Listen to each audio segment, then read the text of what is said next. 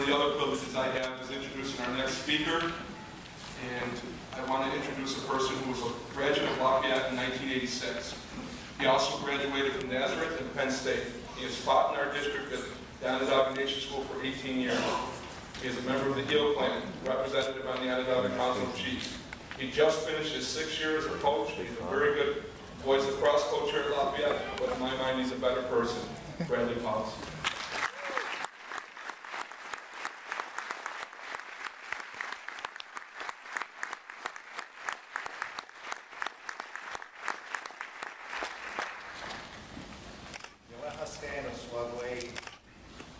Those words, I send you greetings, and I'm thankful that um, you're all well enough to be here today. I also like to thank Mr. Kelly for asking me to come and speak today. I was up on the field with our boys lacrosse team for practice a couple weeks ago when I saw him come up the hill. He was walking with a purpose, and one that I know that one of our boys is now in trouble. Instead, he asked me to come and speak today and share some knowledge with our graduating class. While I was contemplating my answer, a story came to me, so please bear with me for a moment. Around 1825, a newly married couple moved to the land of the Onondagas to start a home. They knew they must prepare for their new home for the harsh winters in the area. The husband said, on top of a hill, there's an elderly Onondaga man. We will go to him when we are finished to see if we are ready for winter. So the couple cut wood and stacked wood for days. Then they began their trip up the hill to the home of the elder to seek knowledge. When they asked him about the upcoming winter, he stood up, looked out over the valley, took a deep cleansing breath and said, I see heavy snows coming. The couple thanked him and went home. Heeding his advice, the couple worked for days, stacking wood, until they were tired. They decided it was time to go see him again. Again, they traveled up the hill, and they met him again, and then said, how was the winter? He looked out over the valley, took another deep breath, and said, it's worse than I expected. More snows are coming. The couple thanked and left. Two more times, the couple did this, working day and night, preparing for winter. Finally, the husband said, we have to be ready now. They went up to talk to the elder again. And again he said, worse, worse, worse. Nothing like it ever in my memory. As the couple put their heads down, the wife stopped and said, how do you know it's going to be such a bad winter? He said, look down there, look at the wood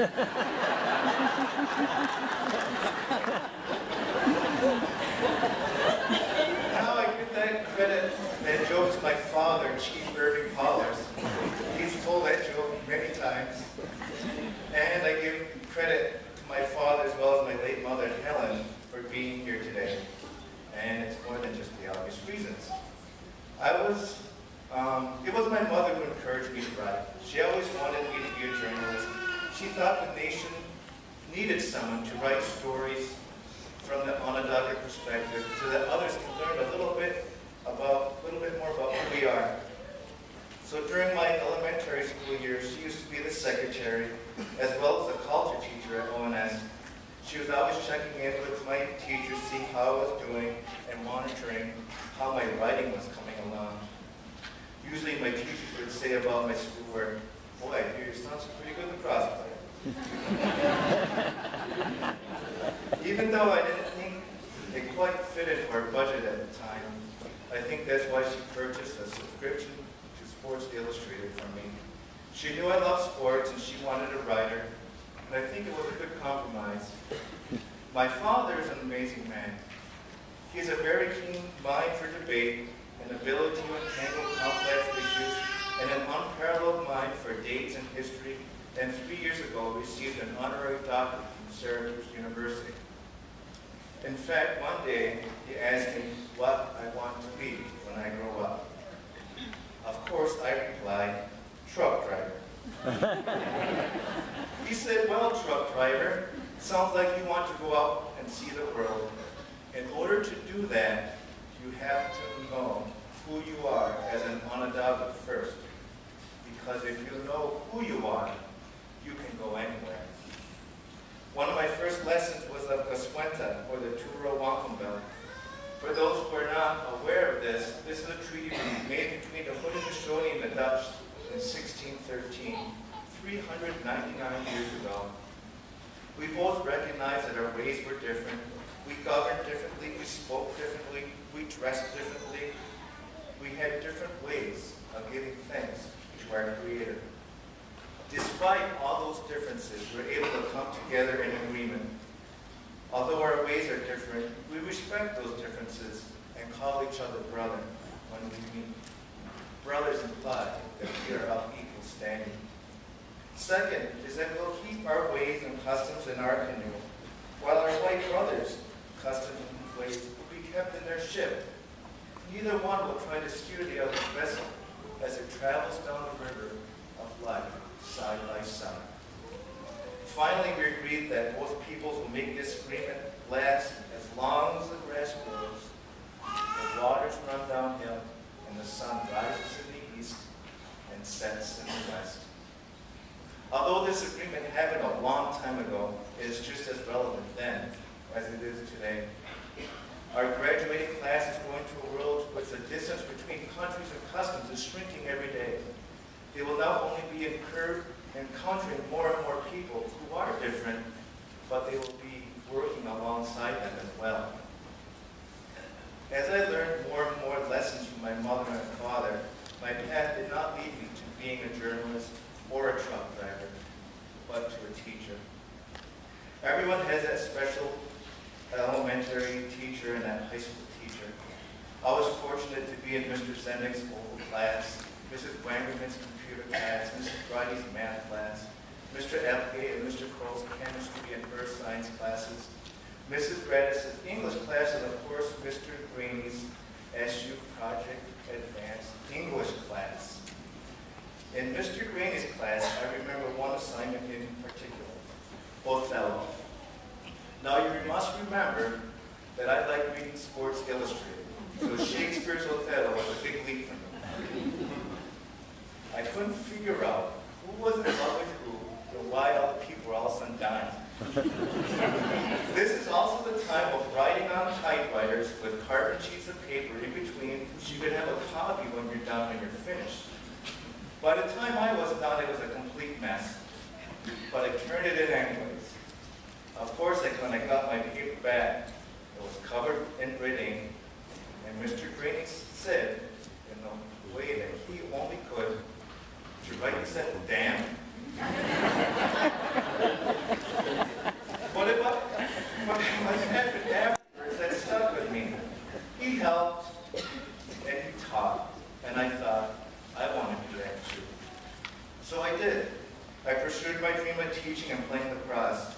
I did it at a Catholic college called Nazareth College in Rochester. I was living the dream, playing lacrosse and going to school. But in life, there will be times of choices and consequences. Mine happened my senior year at Naz. My choice was to keep playing lacrosse and graduate the following year, or stop playing so I could finish my student teaching duties and finish in the spring. It was a really hard choice but I chose teaching. Because I chose teaching, this led me on another path, coaching. Coach Nelson saw that my choice was extremely difficult for me. He arranged for an interview a, for me to coach the local high school. The interview went great, and I was hired to coach at a Catholic high school called Quake. It was their first year of lacrosse. It was my first year, first year coaching lacrosse, so it worked out great. The only people who weren't happy were the coaches of the baseball team. we lost more games than we won, but we all learned together. We played schools with rich lacrosse traditions such as around the Irondequoit, Penfield, Fairport, Rush Henrietta, and we usually ended up on the wrong end of the stick. I mentioned Rush Henrietta because something special happened while I was coaching against them. Unknown to me, I coached against my future brother-in-law. Of course, I didn't know it at the time, it also could have doubled him every time he touched the ball. But while I was trying to beat my brother-in-law's team, my future bride, Joanne, for the last 20 years, was in the stands. Until this day, she, she won't tell me who she was cheering for, me or her brother. But when I tell the story, I always say it was me. Now, I won't say that all my choices turned out great or even medium. In fact, I have another story to share about, share about my who reminded me I to tell it in the state of Texas. But I encourage our 2012 graduates to take what you learned in the classroom, on the playing fields, from your parents, your elders,